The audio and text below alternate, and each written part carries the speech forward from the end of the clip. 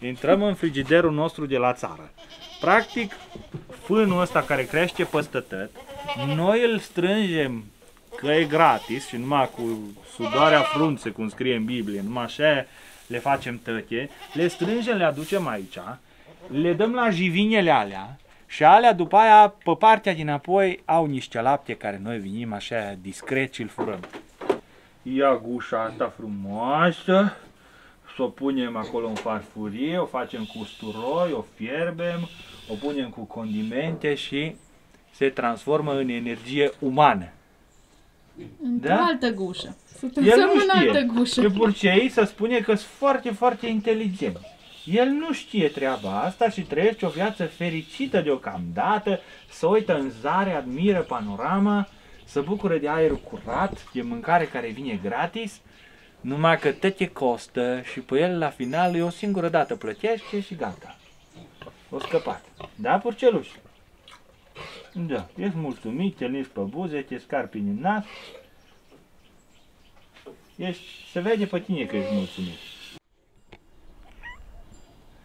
Dragilor, de mult n-am mai făcut o prezentare a gospodăriei și pisicile astea, ca astea sunt prietenile mele. Aproape că am împărțit cu ele mâncarea am câteva săptămâni, că m-am pus aici pe bancă și au venit tăti, au vrut să-mi fure mâncarea. Și mi-au scris oamenii în comentarii, păi de ce nu le dai și lor? Nu le dau pentru că ele au bobițele lor și mâncarea mea e mâncarea mea. Și nici eu nu mă duc să le mănânc bobițele lor. Am și eu o parte egoistă în lumea asta, ce a meu e a meu și mi-asum. Da? Dar pisica asta, motanul ăsta, motonelul ăsta, care n-are niciun an încă, pe ăsta îl țin în brațe că e foarte prietenos. Vreau să vă arăt astăzi cum e starea gospodăriei noastre la, la mijlocul lunii octombrie și ce s-a mai întâmplat. Că noi am, că am fost tare ocupați, o să vedeți în video de astăzi cât am făcut și ce am făcut. Și haideți să începem, că vorba multă sărăcia omului. Nu, nu mă trage de bluză tu. Mă, Mă, mă pisic. Așa.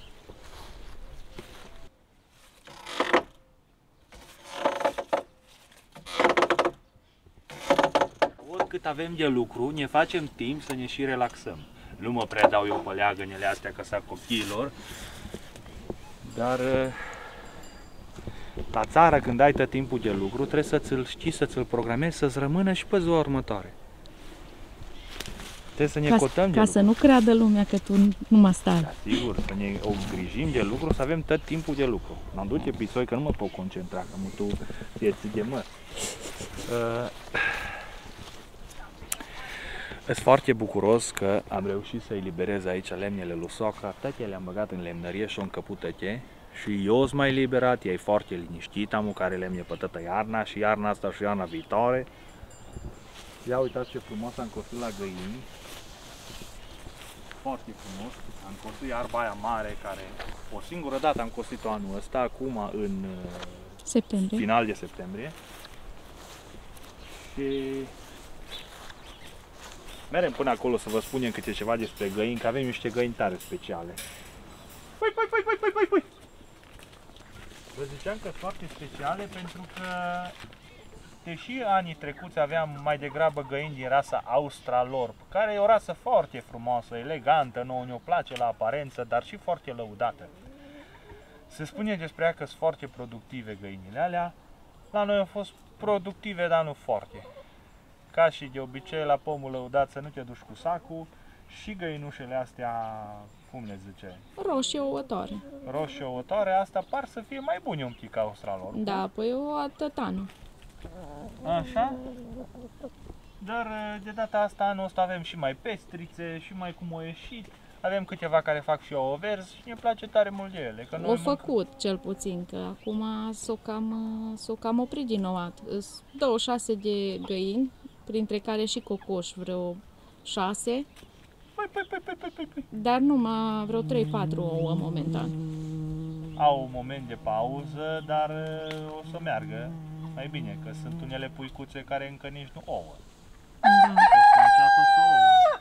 Uite ce cocoș mândru avem, are două pene în coadă, dar e mândru, mândru nevoie mare. Două pene în codă. Da. Toată vara găinile astea au dormit aici în nucul ăsta și acum le-am luat scara de la nuc, le-am pus aici să se poată băga în adăpost pentru că e multă umezeală peste noapte, rouă, plouă des și li mai bine așa. Sigur că dacă am avea condiții să le ținem într-o sală încălzită sau undeva unde să le fie cald și să așa roa mai mult. Dar nouă ne plac găinile astea așa să pască și iarbă, să mănânce insecte și să întrețină zona asta. Încă n-am apucat să aduc gunoi la pomii ăștia fructiferi, dar sunt tare bucuros că o să o prins în zona asta unde s-o lua mult pământ, s-o îndreptat, s-o nivela cu buldoescavatorul.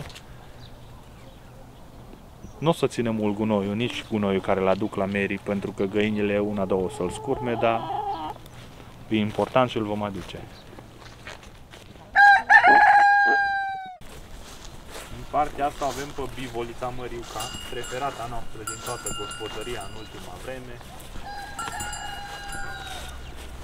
L-am avut pe Iancu și el o fost preferatul, dar el o fost mai mult așa, numai de fantezie, de pasiune, de drag dar de la dumnea ei sperăm să avem și lapte de acum din decembrie pentru că e gestantă.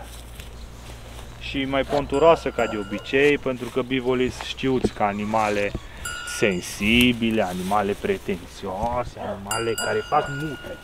Uite-te la ea cum face că și după cum suflă câteodată gândești că ce nu-i convine, numai i-am băgat pe teritoriul ei și am i-ar provoca. Haide, haide, haide, hai, de, de, de. Hai că cu mine ai treabă. Hai să-ți arăt. Ia vezi? În partea aia pune soarele. În partea aia se duce soarele tot timpul. Și din partea aia vine. No, să știi și tu unde suntem. Ai înțeles? Ia pisica că-ți mănâncă iarba. No, tu ce mai mănânci, amă? Da,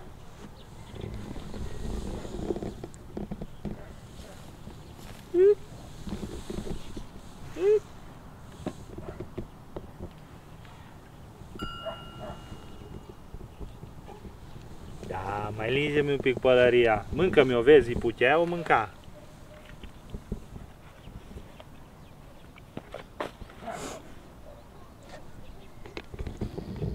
Râzi? Bolundă. O râzi? E mai liniștit, amușai? E mânca chiar rușinea. Ivoliță ponturoasă. Nu-i bai că și eu sunt ponturos. Doi la oaltă să vezi ce bine eu mă înțelege. Uite, cheme, că bine așa. Da, știi cum e tu lumea asta, lucrurile cum stau. Hai să spun. Du-te încolo, du-te, du-te, du-te înapoi, du-te la tată tot, du-te la tată, du-te, du-te acolo. În partea asta avem câteva albinițe. Acum 2 ani am cumpărat două familii de albine și tot două avem la momentul ăsta pentru că nu ne-au mers foarte grozav. Anul trecut am schimbat măcile și nu ne-au roit, nu au făcut boci de roire, așa că n-am putut înmulți familia. Am cules niște mere, suntem mulțumiți de ce înseamnă activitatea apicolă în gospodăria noastră. Avem planuri să extindem, să dezvoltăm, să creștem un pic, uh, probabil anul viitor. Anul ăsta intrăm în iarnă cu două familii, tare mulți viespi, uite-te tu ce e aici. Asta nu e bine deloc.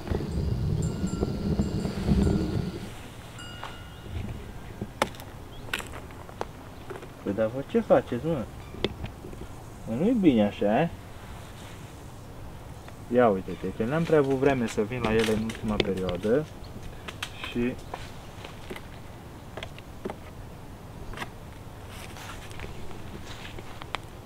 Dacă se atâția vies la familia asta, înseamnă că e o familie mai slabă care nu se prea poate nici apăra, dar trebuie să-i reduc și uldinișul ca să se poată apăra mai bine deja că e târziu.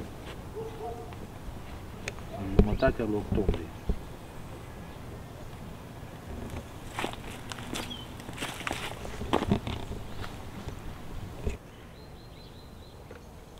Curdinișul trebuia redus de mult. Dar dacă am fost atât de ocupat, Uite că nu-i bine. Ce s-a întâmplat?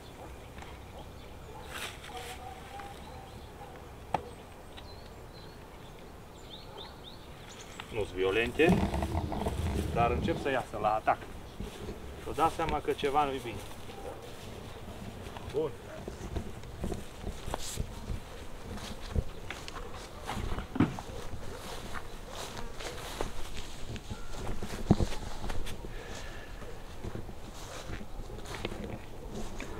Ca și cu orice treabă, noi am intrat așa foarte entuziasmați în apicultură, fără să știm foarte, foarte mult despre ce înseamnă apicultura și ne-am dat seama ulterior că apicultura e un domeniu extrem de vast. Nu-s numai niște gaunuri acolo într-o ladă și mergi le mierea.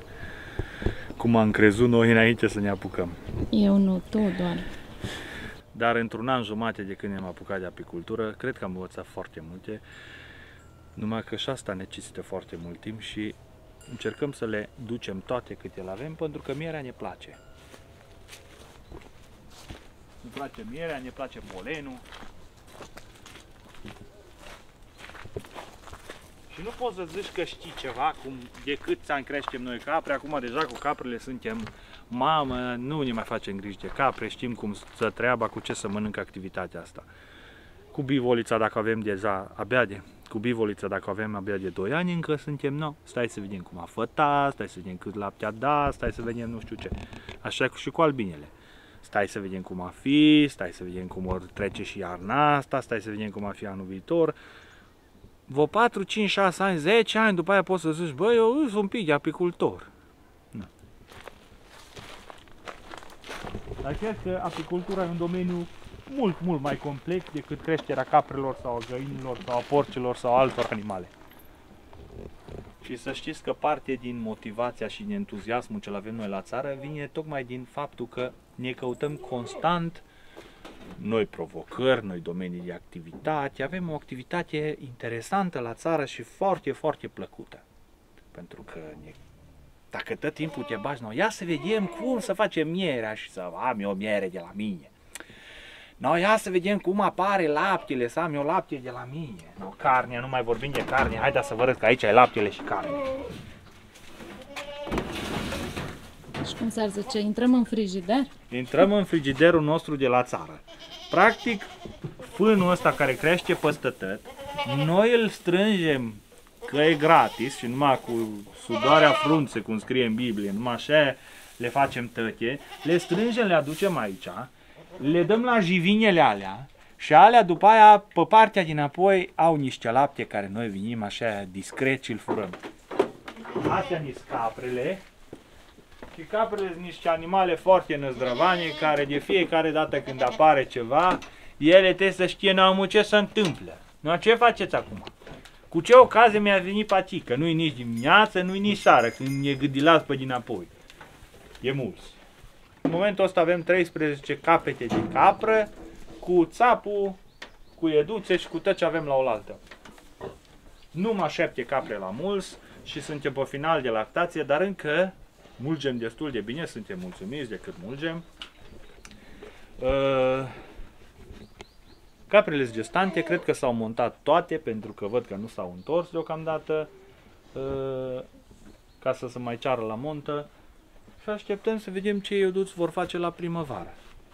Deci toate caprele sunt montate, adică sunt... Uh, da, sunt cu tratamentele la zi, una dintre ele am pus-o și la vânzare, dar anul ăsta pare că nu se prea caută, probabil și din, pe, din cauza pesta micilor rumegătoare sau ce fi fiind, oamenii nu mai sunt interesați așa de mult de a cumpăra capre, probabil constrânși și speriați cumva de restricțiile de mișcare a animalelor, în fine, noi numai șapte avem, una și vândut-o probabil.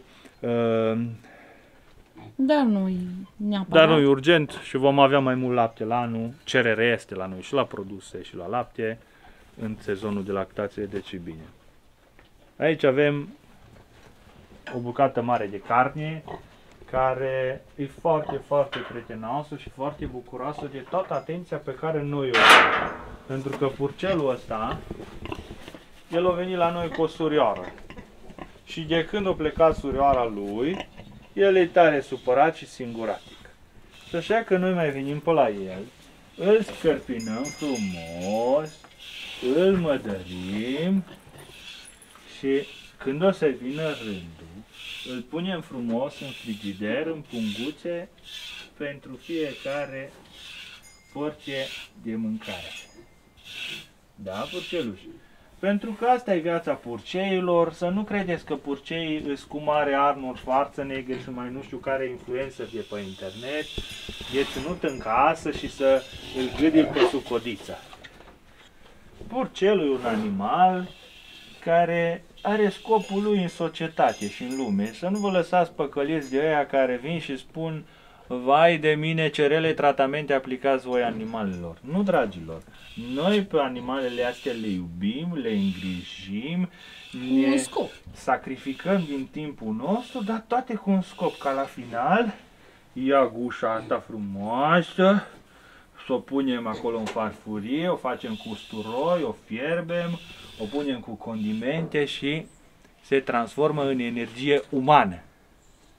Într-o da? altă gușă. El nu știe. Altă gușă. Că burcei să spune că sunt foarte, foarte inteligenți. El nu știe treaba asta și trăiește o viață fericită deocamdată, să uită în zare, admiră panorama, să bucură de aer curat, de mâncare care vine gratis, numai că te costă și pe el la final e o singură dată plătește și gata.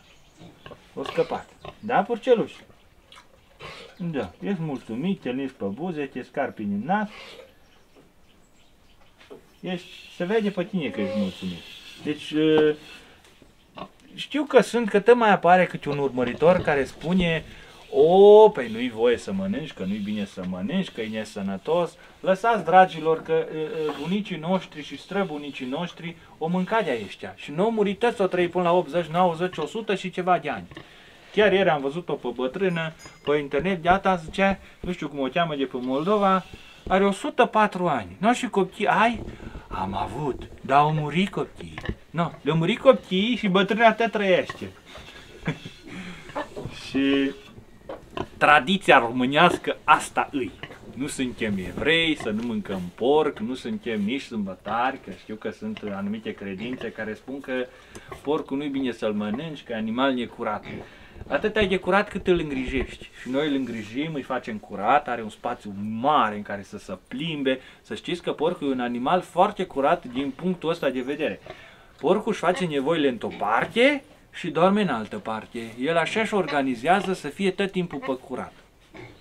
Și troca din care mănâncă, acum nu terminat de mâncat că i-am pus cam mult. Dar asta așa o linge de zici că e nouă o năuță spălată. Nu. Asta e treaba cu purcei. Și cumva ne bucurăm că nu suntem în Thailanda sau în țările asiatice unde se mănâncă și pisici. Că pisicile astea simt treaba asta, stau pe lângă noi, nu se simt amenințate deloc. No. Și noi le păzim. Dacă vine cineva și vrea să ne mănânce pisicile, noi îi alungăm. Strigăm la ei, avem boche cu care umblăm după capre și așa mai departe. Aici avem trei bijuterii foarte noi au apărut în gospodăria noastră. Pentru că Îs bijuterii, nu bijuteroi. Sunt trei fetițe de furcele pe care le-am luat și să vedem care dintre ele a fi mai frumoasă și care a fi mai prietenoasă să rămână mai mult timp în gospodăria noastră. Dar omul gospodar se socotește în tot anul. Și planurile să fac de toamnă, trebuie să ai hambarele pline, să ai mâncare la animale și să te gândești ce mănânci iarna viitoare. Așa că un curcel e atâta ni, umbli un an de zile după el, să faci atâta ni, îți umfli congelatorul și îți umfli burtica și dacă ești harnic, nu te îngrași tare mult. Că unii ar zice, vai de mine că mai bine le cumperi tătii de la supermarket. Păi le cumperi de la supermarket, dar dacă le cumperi numai dând bani și ne munci, ne făcând mișcare pentru mâncarea aia, unul la mână că nu e așa sănătoasă. Nu se compară mâncarea tradițională de la țară cu ce găsești în magazin și dacă n-ai niciun blas să-ți o produci tu, să dai fân la animale, să dai mâncare, să te apleci, să te ridici, să miști gunoiul, să încarci, să descarci, să mustă de... E o întreagă industrie aici la țară, în gospodăria noastră și cine nu știe cum funcționează industria vieții la țară, urmăriți canalul Roșan la țară, că noi asta vă arătăm de fiecare dată.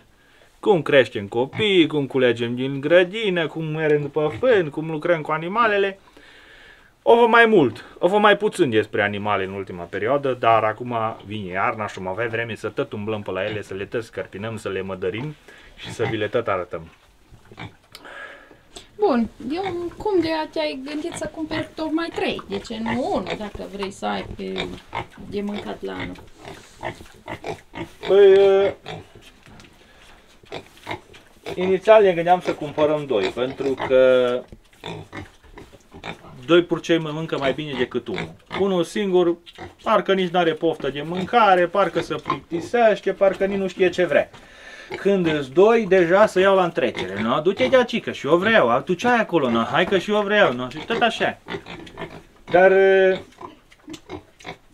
în perioada de toamnă, purcei îs mai avantajos la preț, pentru că nu prea cumpără lumea toamnă. Cel mai avantajos e să cumpere un purcel Primăvara de vreme. cel mai ușor e să cumpere un purcel primăvara de vreme, pe acolo până ianuarie, februarie, dacă ai unde el ține o lună la căldurică să-i dai de mâncare, apoi vine primăvara și bagi în el și să face până la Crăciun.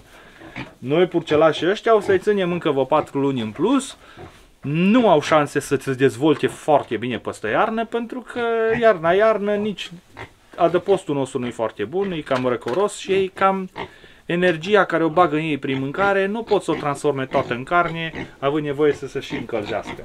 Dar aici, în adăpostul ăsta în care ținem și pămăriu, caiacii, strunga ei, ieslea ei, avem și caprele, cred că va fi destul de călduț și așa ne-o picat. Am zis, cumpărăm niște purcei, dacă tot am la doi, hai că mai luăm unul, că nu se știe niciodată. I-am auzit pe mai mulți sărani. Lasă că nu știi niciodată ce se întâmplă. Se poate întâmpla un caz și rămâi fără unul. Și atunci ce ai făcut? Nu. Cum am pățit anul ăsta, de fapt, cu purcelul de-a rămas singur. Cel la mare, cel a zis mai înainte. Așa că, trei surori, frumoase ca soarele și grase ca luna, dintr-o parte, doar îngrășat.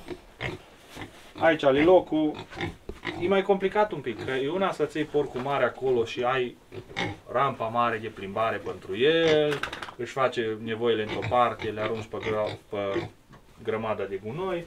Aici e mai greu cu întreținere, o să te punem fân proaspăt peste și când se mai îngroșă așa, o să facem curat. Și până la primăvară, aici ținem purcelușele. Asta e gospodăria. Mai era ceva de filmat? Tare mult timp mi-a luat să-mi fac o remorcă după tractor și m-am sfătuit și cu prietenul Gavrilă și cu unii și cu alții. După socoteala mea am uh, cântărit lucrurile și am zis dintr-un ștraf ce l-am avut aici cu niște osi bune, am luat uh, am luat osia și butucul de pe el, am schimbat cauciucurile și chiar dacă unii prieteni au zis că e cam slabă osia asta și butucul, uh, eu mi-am făcut un grilaj și o remorcă de la zero. Vom vedea cât ați în ea. Planul nu este să pun foarte multă sarcină pe ea, că nu vreau să aduc lemne, dar 2 sau 3 baloți și eventual niște gunoi mutat dincolo, încoace încolo, niște fân. O să trebuiască să lucrez cu ea. Uh, no. Trebuie să mai fac niște ari. Trebuie să mai fac niște ari pe roțile astea din metal ca să pot să pun uh, și să nu se frece și să nu arunce gunoiul mizerea în sus. Dar asta e remorca. Bună! Dar asta e remorca și sunt curios să-mi scrieți în comentarii ce părere aveți de ea. Mai este încă mult de lucru pe ea, că nici nu vă dați seama cât am lucrat, până am sudat, până am tăiat, până le-am pus pe poziție. Cred că am lucrat vreo 4-5 zile cumulat, numai la remorcă, cu curățatul osiei, tăte, tătă treaba până aici și încă mai am de făcut aici o ladă, aici un capac din lemn o să fac, i-am făcut umerii ăștia să intre scândura și în partea asta o să-i fac o ladă pentru accesorii, eu știu ce trebuie la remorcă și eventual drujbe și alte chestii când mă duc de aici în Cătun. Pe partea Pe din scurt, spate- ești foarte, foarte entuziasmat de remorca asta ta și se termină bateria. Nu sunt foarte entuziasmat. Da, sigur că sunt entuziasmat că e făcută de mine de la zero și eu cred că am făcut-o destul de bine. Cu excepția ce spun ăștia prietenii că osia și cu butuci. Trebuie să-i mai fac o ușă cipălată, trebuie să-i mai fac o o ușă aici pe partea din spate cu balamale și cu închidere și niște laterale, dar asta probabil că va mai dura până anul viitor. Și vopsătul mi-a luat tare mult la remorca asta, că până am vopsit tot fierul ăsta, ă, așa plasa de fier, sigur că puteam să pun ladă de lemn, fund de lemn sau alte cele, dar când o să duc gunoiul, o să pun o prelată pe ea, ca să nu-mi curcă tot în jos. La fân și la iarbă e ok. E mai bun așa grilaj. Nu Da. se... Nu umezește. M-a întrebat cineva când de unde am luat fierul. A zis, nu, cum e? Cât ai ajuns cu remorca? Eu nu cred că am ajuns cu mai mult de 5-600 de lei tot fierul. Și cauciucul a fost 350, pe la 1000 de lei am ajuns cu ea, fără curent și fără electroz și ce-am mai sudat eu și timpul pierdut. Destul de mult. Dar ca Nu, și bun, dacă investiție, cât te costa să o cumperi de nouă? Asemănător, că să nu o așa. cumpăr de nou era vreo 2500 de lei, 3000, că- pe la 3000. Mhm. cel puțin. Dar făcut așa poate nici măcar. Nu. Da. Omul să uită câți bani are în buzunar, încearcă să cheltuiască cât de puțin și la 1000 de lei plus curentul ce a venit peste 2-3 luni și timpul meu care toamna cam avem și timp. Încercăm să ne descurcăm cum putem, că nu avem bani să scoatem pentru toate utilajele, pentru tractoraș, tractor, dă câte 1500 de euro din buzunar. Asta este. Dragilor, ăsta e video de astăzi. Sperăm că v-a plăcut plimbarea prin gospodăria noastră. Scrieți-ne reacțiile voastre în comentarii. Neapărat ajutați-ne cu algoritmul și cu un like, o distribuire. Comentariile voastre le citim cu interes. Vă salutăm și ne vedem data viitoare.